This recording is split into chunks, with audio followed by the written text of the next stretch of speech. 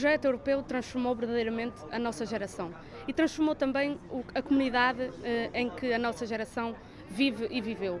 De facto, podemos ter oportunidades únicas de conhecer diferentes espaços, diferentes contextos e diferentes vivências. O projeto Erasmus é um bom exemplo disso. Permitiu que as fronteiras se esbatessem e pudéssemos conhecer realidades únicas e pensamentos diferentes.